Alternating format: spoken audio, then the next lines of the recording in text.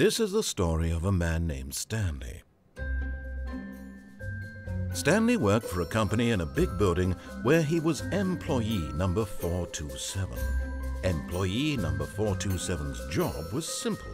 He sat at his desk in room 427 and he pushed buttons on a keyboard. Orders came to him through a monitor on his desk, telling him what buttons to push, how long to push them, and in what order. This is what employee 427 did every day of every month of every year. And although others might have considered it soul-rending, Stanley relished every moment that the orders came in, as though he had been made exactly for this job. And Stanley was happy. And happiness is mandatory. Hello and welcome to the Stanley And then one Parable. day, something very peculiar happened. Something that would forever change Stanley. Something he would never quite forget. He had been at his desk for nearly an hour when he realized that not one single order had Friend arrived on the monitor for him to follow. No, have one you had showed up abandoned to give him instructions, call a meeting, or even say hi. Never in all his years at the company had this happened. This complete isolation. Something was very clearly wrong. Shocked, frozen solid, Stanley found himself unable to move for the longest time. But as he came to his wits and regained his senses, he got up from his desk and stepped out of his office. This is, as I've mentioned before, the Stanley Parable, and it is a experience, shall I say. All I can suggest is really, I'm going only going to play through this once, and it's blind. I'll be honest. I've watched other people do it, and I will not be making the same decisions as them through it. Honestly, it's spoiled by the fact that I've watched a couple of run-throughs of this. So honestly, I'm telling you right now, if we start the day at 10 o'clock, what kind of office is this? Madness, that's what it is. But seriously, don't watch this if you have any inclination to play this game. Uh, because honestly, any ending you watch to this game will be partially spoiled. With that in mind, we are Stanley. We can interact with things. See, we've But Stanley simply couldn't handle the pressure. But- What if he had to make a decision? What if a crucial outcome fell No. under his responsibility? Was- He had never been trained for that. I was introducing the game. This couldn't go any way except badly. The thing to do now, Stanley thought to himself, is to wait. Nothing will hurt me. Nothing will break me. In here I can be happy forever. I will be happy. Stanley waited. Hours passed, then days. Had years gone by? He no longer had the ability to tell. Help. But the one thing he knew for sure, beyond any doubt, was that if he waited long enough, the answers would come. Friend computer, someday, stop blinking, please. I need you. Very soon now, this will end. He will be spoken to. He will be told what to do. Now it's just a little bit closer. Now it's even closer. Here it comes. Um. Well, that was a Stanley Parable. Apparently, waiting in here will cause that to happen. Um. Right. Well, let's get out of that office then, and actually, I wasn't aware it did that. That'll teach me for waffling when I should be playing, or giving warnings about not All of playing his it. co-workers were gone. What could it mean? Stanley decided to go to the meeting room. Perhaps he had simply missed a memo. No matter how hard Stanley looked, Ooh, he couldn't find turn a off the trace computer. of his co-workers. No, I like that computer. I need to turn it back on. No, no. Employee 453's computer, turn back on. Filing cabinet? No. Oh, things. Can I open any of these? Nope, I can click around. Can't open that door. Stanley went around touching every little thing in the office, but it didn't make a single difference, nor did it advance the story in any way. Possibly true. So let's continue on then. Basically, this game is you being narrated to and then you acting however you like. I hate Mondays too, coffee cup. I hate Mondays. I hate every day, of course, but that's just beside the point. When Stanley came to a set of two open doors, he entered the door on his left. The first decision. Well, actually, no, it's not apparently, because apparently we can we can decide not to leave the game. Let's actually go and obey the mysterious voice for now. And no, you can't go back now. Now it is too late.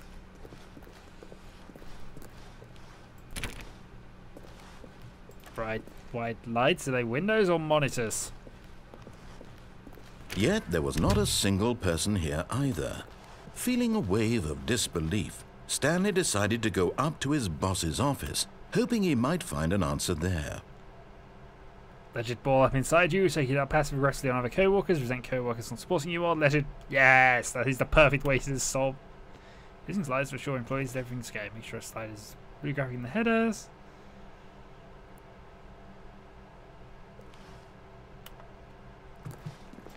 Who's giving out these things?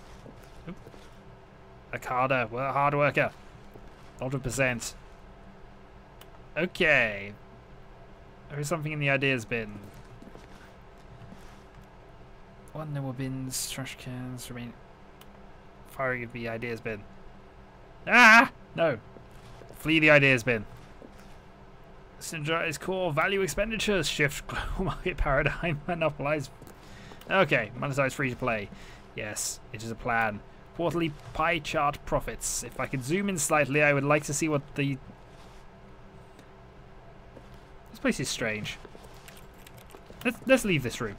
It is... Ooh, broom closet. Maybe we can hide in there. Ah!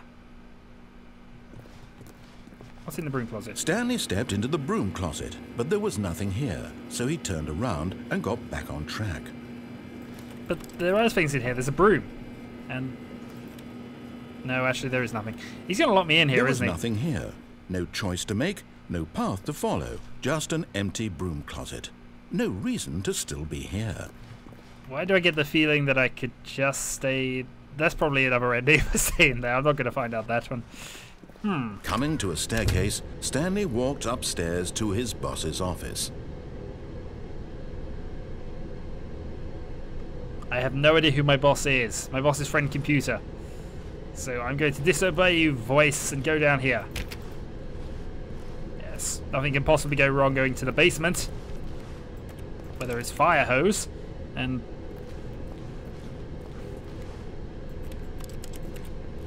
and things. But Stanley just couldn't do it. Let me in the he car. considered the possibility of facing his boss. Admitting he had left his post during work hours, he might be fired for that. And in such a competitive economy, why had he taken that risk? All because he believed everyone had vanished? His boss would think he was crazy. To and then fair- something occurred to Stanley. Maybe, he thought to himself, maybe I am crazy. All of my co-workers blinking mysteriously out of existence in a single moment for no reason at all? None of it made any logical sense. And as Stanley pondered this, he began to make other strange observations. For example, why couldn't he see his feet when he looked down? Why did doors close automatically behind him wherever he went? And for that matter, uh. these rooms were starting to look pretty familiar. Were they simply repeating? Uh. no, Stanley said to himself, this is all too strange. This can't be real. And at last, he came to the conclusion that had been on the tip of his tongue. He just hadn't found the words for it. I'm dreaming! Yay! This is all a dream. Yes, it is. What a relief Stanley felt to have finally found an answer, an explanation. His co-workers weren't actually gone. He wasn't going to lose his job. He wasn't crazy after all. And he thought to himself, me in the car." I suppose I'll wake up soon. I'll have to go back to my boring real-life job pushing buttons. I may as well enjoy this while I'm still lucid. So, he imagined himself flying and began to gently float Oh, above dear. the ground. What the? Then he imagined himself soaring through space on a magical starfield, and it too appeared. It was so much fun, Ah! and Stanley marveled that he had still not woken up. How was he remaining so lucid? And then perhaps the strangest question of them all entered Stanley's head. One he was amazed he hadn't asked himself sooner. Why is there a voice in my head dictating everything that I'm doing and thinking? what Now the voice was describing itself being considered by Stanley, who found it particularly Help. strange. I'm dreaming about a voice describing me, thinking about how it's describing my thoughts, he thought. And while he thought it all very odd and wondered if this voice spoke to all people in their dreams, the truth was that, of course, this was not a dream. How could it be? Was Stanley simply deceiving himself? Believing that if he's asleep, he doesn't have to take responsibility for himself? Stanley is as awake right now as he's ever been in his life. Now, hearing the voice speak these words was quite a shock to Stanley. Okay, now I'm After all, trapped. he knew for Uh, certain, beyond a doubt, that this was in fact a dream. Did the voice not see him float and make the magical stars just a moment ago? How else would the voice explain all that? This voice was a part of himself too. Surely, surely, if he could just. He would prove it. He would prove that he was in control, that this was a dream.